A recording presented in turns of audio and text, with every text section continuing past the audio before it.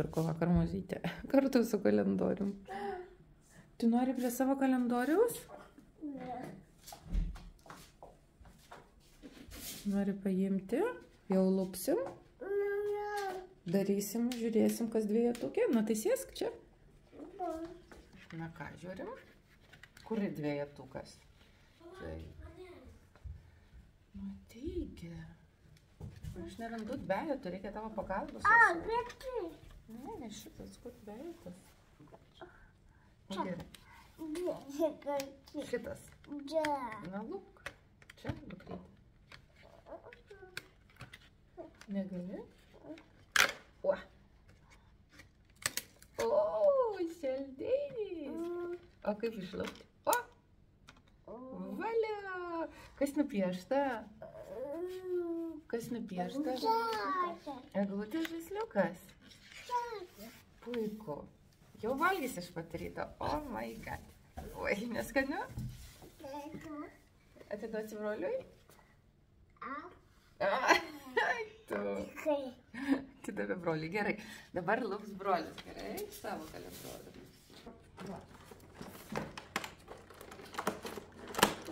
Bet brolis tau duos pažaist tada.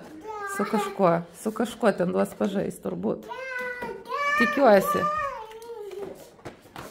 Tikiuosi. Tikiuosi, kad duosi. Nebuvo kas nors šį kartą viduj. Koks riešutas?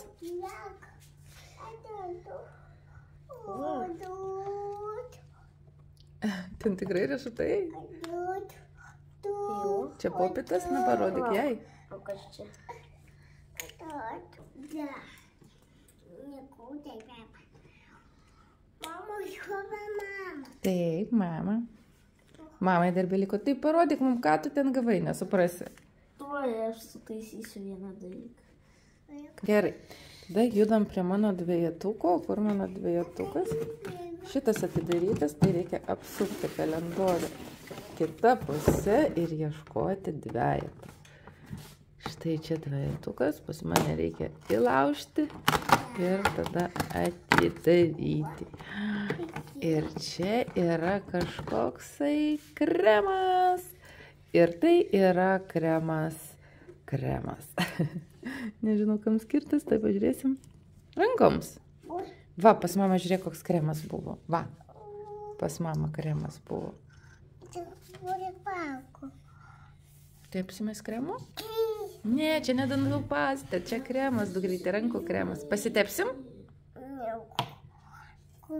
Nieko. To. Nieko. Nieko gero, sakyk. Nieko gero. O brolis ką? Taisyt bandau. Riešutėlį savo? Na tai spėkit, ar mes išsirošėm anksčiau su maziuku. Nu tai niekaip. Sėdi, sėdi, jeigu prie jo nesėdi ir neskubini, jis tokio amžiaus, kad nu, jis vis- visur vėluoja, užsisėdėjo virtuvėje, užsivalgė. Tai va, at, išėjo iš namų be 8.8, kai pas jį 8 yra pamokos. Laimiai iki mokyklos jam nubėgti yra 3 minutės. Bet dar šiandien įsidėjom pakaitinius batus, nes nuėjo su labai šiltais iki mokyklos, e, kad jie, persiauti turėtų mokyklai lengvesnius. Tai, žodžiu, dar turės persiauti, tai nežinau, kaip jis ten spės. Na, žodžiu, aš jau ruošiuosi dienai, nes vakar mm, vakare parašė viena klientė, kad nori šukuosinos ir makiažo skubiai, tai teks ją gelbėti ir šiandien pradėti darbo dieną anksčiau. Mm, Šiaip dažniausiai tokiom avantūrom, avantūrom nepasirašinėjau, nes, nu, kažkaip, nežinau, nesinori ten lakstyti per daug, e, nes turiu užrašymų pilnai dienai šiandien. Tai nėra taip, kad aš neturiu užrašymų ar ne, ir, ir ten, žinot, man čia labai reikia. Bet kažkaip jau ta klientė lankėsi pas mane, tai galvoju, nu gerai, jau tebūnie, išgelbėsiu, jeigu ten kažkokia proga, o jei ten kažkas atsisakė, tai, tai ok, galvoju, tebūnie. Tai va, dėl to anksčiau važiuosiu čia nedirbau, kad dabar turiu susiruošti ir dabar atrodo kaip ragana. Tai trumpam išsiskiriam. Na ką, aš ir vėl su šito pačiu savo palčiuku sušalusiai mašinai. Ką mes spėjom nuveikti, tai spėjom peržiūrėti e, muziko klasės e, fotosesijos nuotraukas, išrinkom, kurios nuotraukos mums muziko patinka. Va, įdėsiu jums čia nuotrauką e, muziko tokią, žodžiu, kur jis vienas, klasės dėja įdėti negaliu, visi tėveliai prieštarautų tikriausiai tam. Tai va, tai įdedu, kaip jisai atrodo šiuo metu, toks rimtas vyrukas. Muzinas, kaip pamatė, sako, koks vyras jau pas mus, visas vyras, ne? Tai tikrai visas vyras. Tai va, visai patinka tas nuotraukas kasmet stebėti, kaip ten kas atrodo. Va, tai dabar žiūriu kažkaip taip sniego visai e, laukia ir daug, aš sakau, pas mus kiemelį mažokai, tai reikia pribarsyti iš čia nais permės per tvorą, kad būtų daugiau, bet po to iš tvoros atvirkščiai per tvorą norėsim atgal, pas mus e, kiemė sutvarkė kelius. Tai va, galim savo greitai beveik važiuoti, o ne, žinot, ten per visas dabės. Tai ką, judam į darbus šiandien ir po to vakare mažyliai šiandien yra gimnastika. Lanko vaikų gimnastiką muzytę, kas žinot, kas nežinot, labai labai ten fainai vaikai mankštinasi. Aišku, jie visi labai mažučiai, tai ten kas kaip moka, tas taip mankštinasi. Gal kažkiek šiandien muzinas kadrų nufilmuos iš ten, tai tada įdėsim jums ir parodysim. Nu, šiemet jau nebes. O kodėl tu sakai, kad kitais metais reikia man užsakyti naują paltą? Nes jau šitas, jis gražios, toks žalias, tau labai tinka šitas spalva, bet aš manau, kad tau reikia atsinaujinti. Čia jau pernai metais taip e, apie šį kal, e, paltą buvo kalbėta. E, Nežinau, kiek metų, gal kokie penki jau bus. Ne, mažiau kokie. Mažiau? Keturi, gal. Mm, keturi. Tik, tik tiek. Bet bet žiūrėk, kaip močiutės ant senais laikais išsaugodavo, žinai, Tai čia aš taip pat. daiktus, kurie ten nenusidėvi, tada, žodžiu, ten keičiasi mados ciklas. Aš čia vėlgi savo nukiau ir paliksiu šitą paltą. Tikrai paliksiu. Anukės, linkėjimai jums, jeigu jūs mane žiūrite ir, ir jūs dabar su šito paltu, tai Jūs kaip moteris nenunešiojate tų drabužių, nes jūs turite juos 25, žodžiu, keičiat pastovi ten. kur keičiu, žiūrėk, tai tą ten patį paltą. Vienu varo, varo, varo, kol suvaro. Pats Tada su šito palto jau gal 3 metai kokie. Ja, Bet vis dar gyria mane, kad gerai atrodo, tai kažkaip nematau prasmės keisti. Nu, dar nenunešiojai. Tantėlį manom. Aš šiandien nusprendžiau darytis iškrovos dieną, nes tas pilvas gurguliuoja, burbuliuoja, skrandis skauda, jeigu nemezimas, tai ten nuo skausmų mirtom turbūt. O tai tu šiandien su iškrova ar ne? Taip, šiandien ir aš su iškrova išsikrausiu, kaip tu. Nuo kurio turbūt daug nebendrausim tiek kiek ryte, būsim tokie sušalę ir įsitempę šiek tiek. Šiaip tai dar kvapas iš burnos pakyla kažkoks, matyt, tos skrandžio sultis kažkaip tai veikia, taip kažkaip, kad, kad tai eina nelabai malonus kvapas iš burnos. Tai dėl iškrovos dienų du minusai yra, kad e, kvapas papiet ir kad mm, vakare labai šala galūnės. Ir Tai... trečias, tampi ir zilesnis. Ta prasme, susipykti galima tikrai Ne, man, man taip nėra. daryt nori šiek tiek. Čia apie e, tave. Kad krūtintų tave ir panašiai. Čia apie tave. Nes aš tai skaitau, kad tai yra tikra psichologija ir kai tu nusistatai, kad viskas čia gerai, tai viskas čia ir yra gerai. O kai tu pradedi galvoti, gal aš mažiau energijos turiu, gal man čia biškis silpna, gal galvas spau- spaudžia, tai taip ir bus, žinokit, taip ir bus. Aš save pagavau. Dėl to aš stengiuosi iškrovos daryti tada, kai pas mane pilna diena užimta, aš tada tikrai neturiu kada galvoti apie tą maistą ir galvoju, o, nu tai va, baigės diena, o buvo jinai iškrova pasirodo. Tai va, tai mm, nieko čia, žinokit, mandro, apsivalysim, nes pasiskaitėm internete, kad tiesiog mm, yra geriau, kai laikaisi dietos. Nevalgai to nuo trečio, kai nevalgai iš viso ir geri daug vandens, dar geriau. Tai va, dudu į darbą. Darbeliai baigti, kviečiu boltą ir važiuoju namo. Batus nori gimnastiką važiuoti? Da. Taip, o ir susidėsi čia batus. O kurios ausias batus? Kurie, kurios dėsias batus? Kur... Ten, kuriuos tu dėsias, parodyk į gimnastiką. Su kuriais eisi į gimnastiką? Sportuosi? Kaip sportuosi, parodyk la. Va taip darysi ten? Parodyk dar kaip sportuosi. Taip sportuosi?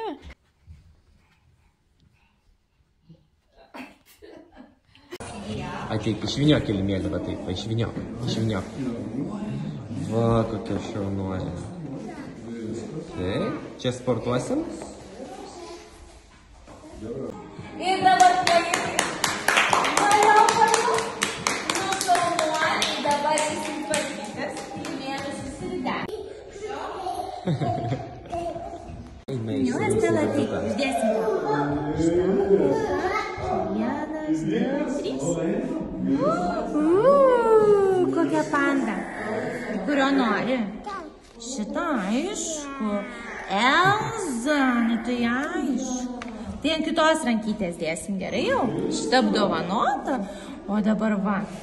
Šitos papuošim. Nėruška, te. Va. Laiminga. Ate, ate. O vyras sako, eik į kambarį, pažiūrėk, kažkokią surprizą turi. Mmm, dovanėlė. Kasgi čia, kasgi čia, čiagi pakrovėjas, nes pradėjau skustis, kad mano pakrovėjas jau senas laidas kažkoksai, tai jau sulūžinėjęs, tai pasakiau vyrui, kad reikia man naujo pakrovėjo. Štai ir jis. Na, pažiūrėsim, ar tas laidas ilgas ar neilgas. Ką čia rašo? Nieko čia nerašo. Vienas, ai, vienas aštuoni metrų. Na, tikiuosi, kad bus geras. Nes nemėgstu tų trumpų laidų. Ir pasakiau, kad man būtų originalas, nes jeigu ne originalas, tai žinot, kaip lietai krauna, ten būna įvairių niuansėlių. Tai žodžiu, juodas, šiaip fainiau būtų baltas, bet, nu ką padarysi. Nu va. Toks surpriziukas manęs laukia, galvoju, kągi jisai ten man nupirko. Ai, ai, ai. O aš pati vis dar nepersirengusi čia muzikos visą lovą man uh, sujaukė, nes ką jisai darė, gulėjo čia ir kažką tai žaidė, nes sakė, čia gerai internetas traukia. Na, aš nusėmiau lankelį biškutį, nes nusirenginėsiu, dabar persirengsiu. Ir nufilmuosiu jums vieną, vieną tokią reklamytę, kurią žadėjau. Pradėsiu nuo labai įdomaus daikčiuko. Tai stay with me, taip sakant. Ir dar paplirpiam su mama pasidėjom, taip mama ir batėlės padariau. Ir paplirpiam, pasijokėm, sakė, kad ir naktį buvo nemiga, tai mano vakarykštį vlogą žiūrėjo, tai valinkėjimai, manau, kad žiūrės ir šitą, tikiuosi, ne dėl nemigos. Vakar reiškia, anukai jau išsikrausti. Va, kai anukai miega kartu, nėra jokių nemigų. Kaip ir žadėjau, kiekviename mano um, vlogumas, o taipogi galbūt net per Instagram stories pasirodys nemokama reklama, tai yra visiškai neatlygintina veikla. Uh, aš dalinuosi įvairiais rankdarbiais ir dalykais, kągi pardavinėja lietuviai šiuo metu ir ką jūs pačios galite įsigyti. Štai čia prie manęs matote yra tokia nuostabi magiška dėžutė. Štai čia paminėsiu Instagramą, galite pasiekti, užeiti ir visada turėti juos paranka, nes jeigu tik pasitaiko proga, jie puikiai, puikiai atidirbs. Tai yra Sweet Gift Box. Sweet, tikriausiai reikėtų tarti, ar ne? Tai visa esmė tame, kad atidarius šią dėžutę, jūs pamatote paklodę įvairių skaniausių, įdomiausių saldainių. Aš nežinau, kokie čia yra saldainiai. Aš tiesiog mačiau trumpą iškarpą, kaip man parodė, kaip tai atrodo, ar ne vizualiai, bet dabar išpakavusi dar nebuvau. Ir jeigu tas, kuris išpakuoja, nežino, kas yra, tai tas tikrai nustebins. Tai va, štai tokia dėžė atsidaro, štai taip, tai taip, čia matot, yra milko šokoladai. Viduje laukia sekanti dėžutė. Na, o sekančioje dėžutėje taipogi matome kažką, kas vėlgi lygiai taip pat sukrenta į šonus ir viduje dar viena dėžutė. Atidarome tą dar vieną dėžutę, čia viduje vėlgi šokoladukai. Atidarome dar vieną dėžutę, čia saldainiai. Na ir pažiūrėkite, kaip smagiai iš arčiau atrodo visa ta dovana, na, o viduje yra koinės. Tai pagal jūsų užsakymą gali pagaminti kokią tik norite dovanėlę. Štai šios būtent dovanėlės kaina tokios dėžutės, tai yra tų visų visų dėžučių yra 50 eurų. Šiaip jie daro nuo 25 iki 60 eurų tokias, vad, nuostabės dovanėlės. Manau, kad žmogų, kuris yra matęs visko, galite tikrai, tikrai labai stipriai maloniai nustebinti. Na, o dabar sėdžiu atsisėdus su šitais visais saldainiais ir galvoju, ką čia su jais daryti, nes man tai iškrovas diena.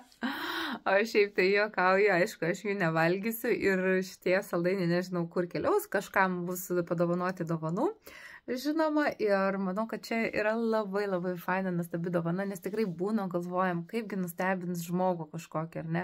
Su kokia dovana galima nustebinti žmogų, kuris viską turi. Tai iš- štai tokia, bent jau šypsena veidė tikrai išgausite, kai žmogus atidaro vieną dėžę, iškrenta saldainį, antrą, trečią ir viduje galite padėti ne koinės, o pavyzdžiui savo kažkokį tai mm, kad ir žiedą vaikinai, pasipiršti galite tokiu būdu. Mergina galvos, kad tiesiog gavo labai daug saldainių, o ten viduje gali būti dėžutė, ne, ne, ne, ne, ne, gali būti kokie auskariukai ir nesvarbu kas.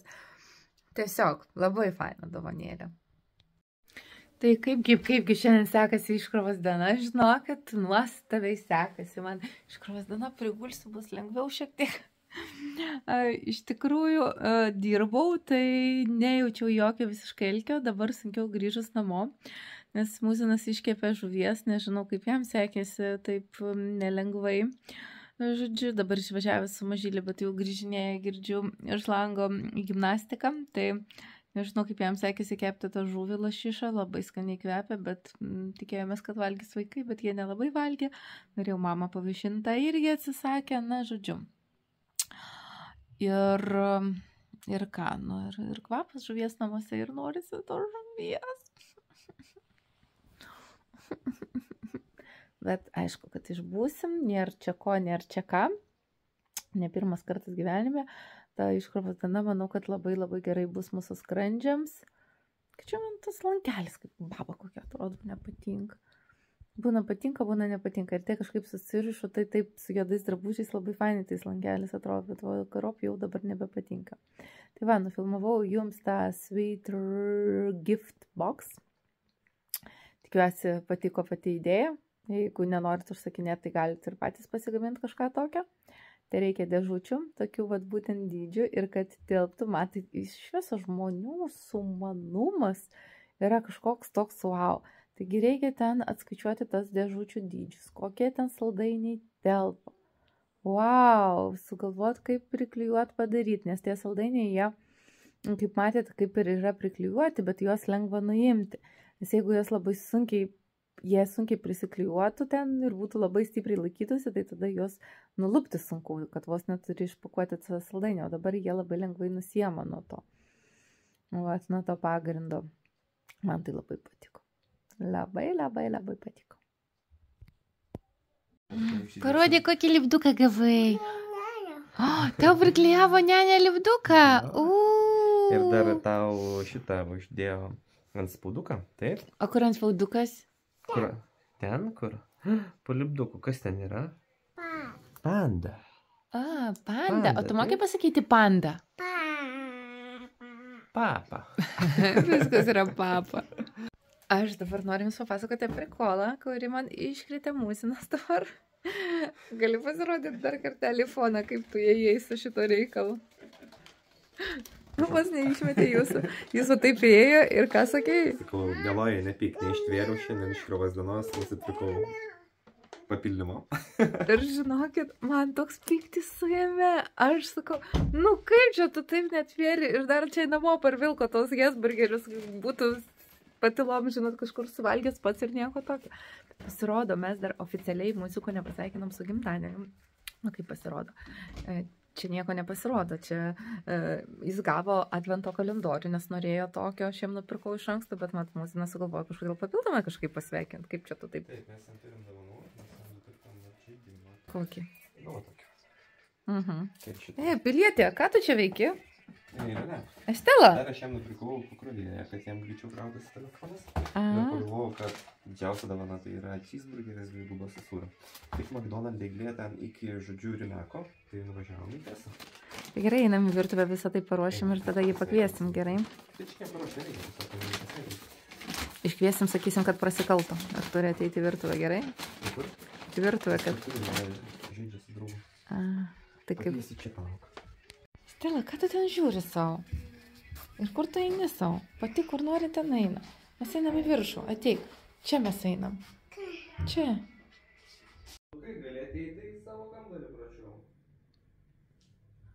Nu, reikia biškių. Reikia biškių pakalbėti.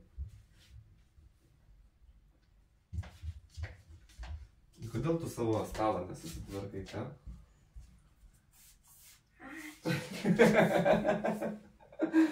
Mes tave sveikinam dar kartelį pakartotinį su gimtadieniu. Ačiū. Didelis ir dovanėlė Aš jau galvoju kažką pasidirbti. Ja, nu tu dažnai prisidirbi, tai na, natūralu.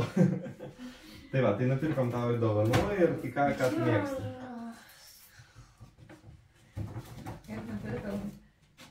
Čia tau pakrovėjas telefonai, kad turėtum savo nuosavą. Taip. Ir noriu papasakoti nusteps. Gerai, eik pasipasakot. Netgi aš vos neapsišarojau, tas mano vyras toks nuostabus apie viską pagalvoja. Aš tai galvau, kad jau užteks dovanų, būtent muzikui to advento kalendoriaus, bet vat, jisai vat, negali.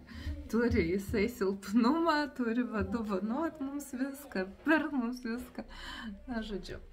Manau, kad viskas labai tikrai fainai. Kur jie sėdi visi, pažiūrėk, kas čia dabar per baldas pas mus namuose. Laip, tai žinokit, yra geriausias baldas. Visi nori sėdėti ant tų laiptų. Nes tie kilimai, vat, mm, kuriuos mes nupirkom, jie iš tikrųjų yra tokie labai labai minkšti. Vat, kad suprastumėt minkštumą, ne? Matot, tikrai labai minkšti ir taip ir norisi sėdėti ant tų kilimų. Nu, nemuš telefoną, tu įsijung, tu nori. Stela, ką tu ten darai? Tas vaikas. Na, Nu, panašiai ir per gimnastiką, bet. Jo. Stela. O ką reiškia, kai eina vaikas į rusišką grupę?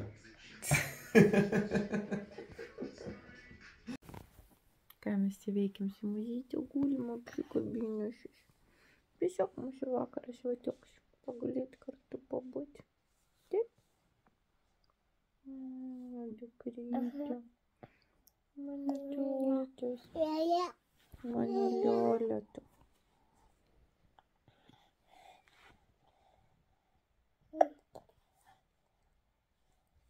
O, bet taip gražiau. Taip gražiau. Fu. Taip, Fu, tiutė. Neskani tiutė. Kas ten plaukas viduj? Jis labai nemėgsta, kai plaukas įlenda. Ai, vis tik ne fu, tiutė, ne? Kažkas ant pležuvo. Nu, pliušiau, duok man tiutė. Kam tau tokia gražiai mergaitė tiutė? Kam jinai tau?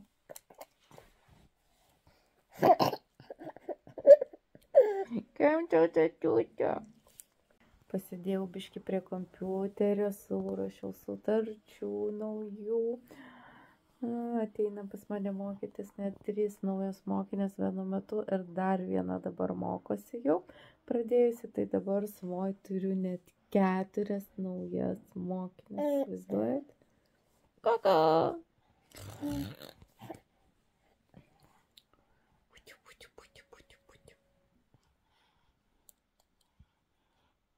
Ten atbėgo miau ir išgėrė penuką visą. Taip? O kaip jisai valgė penuką, parodyk, kaip miau valgė penuką. Taip?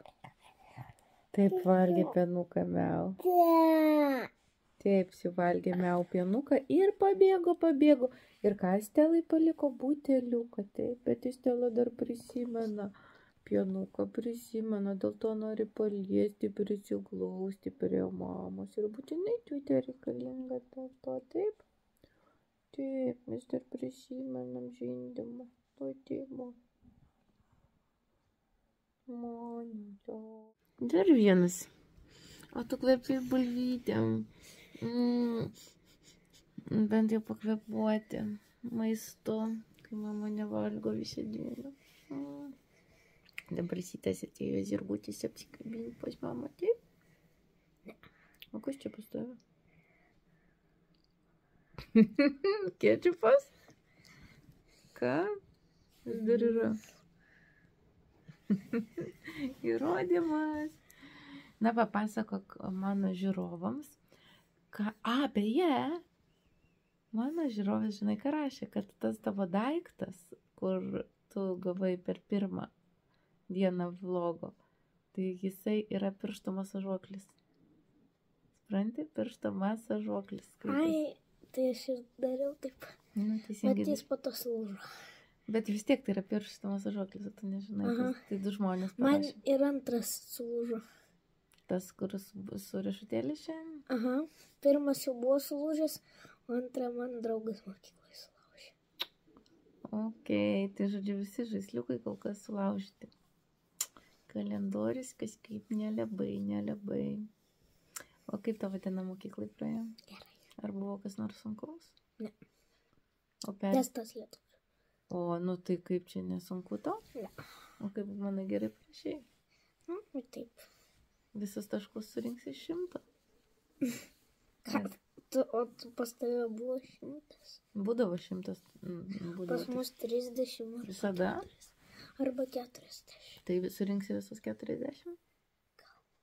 Pasistenk, būgi protingas, visigi žiūrovai mano tiki tavim, kad tu protingas berniukas ir parašysi gerai testus visus, ar ne? Man atrodo, jį nesvarbu. Svarbu, svarbu, pirmadienį jie klaus manęs, kaip tu parašai testą ir turėsim duoti atsaskaitą, kiek gavai procentų. Tu taip galvoji. O tu nesvarbu. Po nulis nesvarbu. Tu vadinsies ne muziukas, o po nulis nesvarbu. Vis tiek viskas nesvarbu. Viskas nesvarbu. Ką rytoj veiksi, koks tavo dienos planas? Pristatyk mums. Atidaryti kalendorių. O, čia labai daug darbo, labai sunkus darbas. Taip, kas toliau? Pavalgyti. Čia dar sunkiau. O toliau. Apsirengti. O toliau. Nežinau. Nežinai? Tai mm, rytoj, Tada pažaisiu telefonu. rytojgi atvažiuoja pas tave svečiai. Pasveikinti tave su to praeitų gimtadieniu. Visą savaitę tave visi, visi sveikina. Tau ne per gerai? Ką? Oi, tėvonė. Per mažai kažkaip sveikinti. Aš galvojau, kad visa šeima ir pro, pro, pro prosenelį dar sveikins. Norėtum? Aha. Sukčias, tu žinai, kad kuo daugiau žmonių, tuo daugiau dovanų, ne? Suktas veidukas šitas. Oi, oi, oi. Oi, aš įsipitskoju. Sukėsiu. Na taip, tikiuosi, kad mūsų balta patalinė čia ir baltas užklotas nekėčiupė, nes tu žinai, kas tas bus už tai. Nukasiu aušį. Pažiūrėk, jau čia kažkas raudono. Tuoj kasiu. Nu viskas mes atsijungiam, nes man reikia nukasti ausį. Ate. Na ir va, kaip ištaršė vaikai mama, kaip aš atrodau, ant manęs jojo. Ko tik čia nevyko, žinokit. Tikiuosi, kad šitas vlogmas jums buvo bent kiek įdomus. Ačiū išdėmesi ir iki rytojaus, mano mielas popytės. Nežinau, kaip atlaikysiu viską. Ir mm, nes rytoj šeštadienis, man vis tiek į darbą. Poryt sekmadienis, man vis tiek į darbą, turiu labai labai daug darbų, nes atostogavau.